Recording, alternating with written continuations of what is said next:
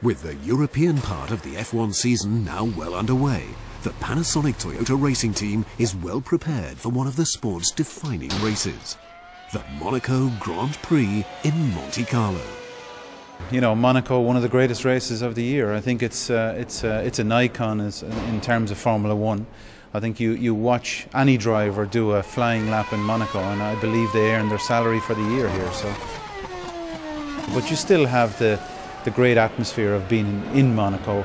You know, the, the, the glitz of it all, the glamour of it all. Combine that with Formula One racing, and you, you generate an enthusiasm, a passion that you probably don't get in too many circuits at the moment in Formula One.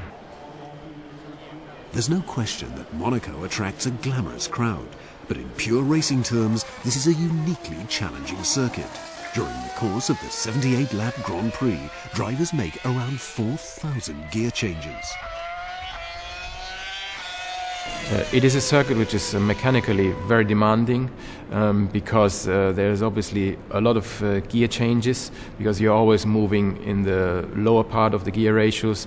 That means you're basically uh, having a lot of gear changes between every corner. Uh, shifting up and down, and uh, it's generally very demanding as well for the brakes uh, because of the low average speed and because of the, the lack of uh, straight lines where you would cool down your brakes. Uh, consequently, the, the average temperatures of the brakes are very, very high, uh, which means you have to be very careful about your brake cooling. As always, aerodynamics play a significant role.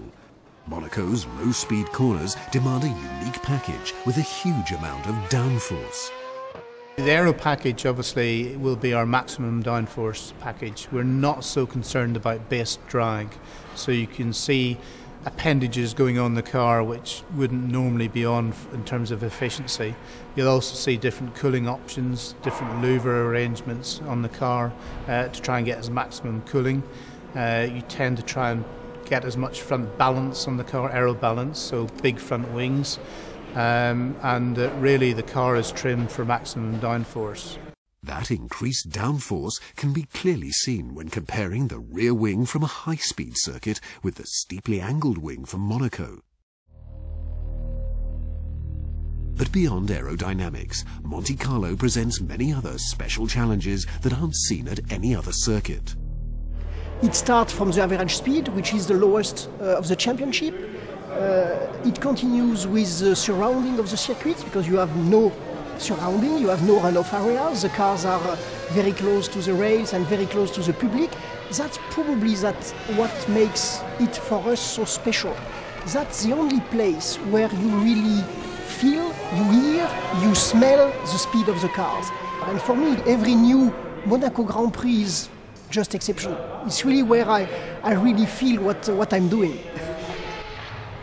This passion is echoed across the Panasonic Toyota racing team as they prepare the TF108 to do battle at Monaco, one of the all-time great Formula One venues.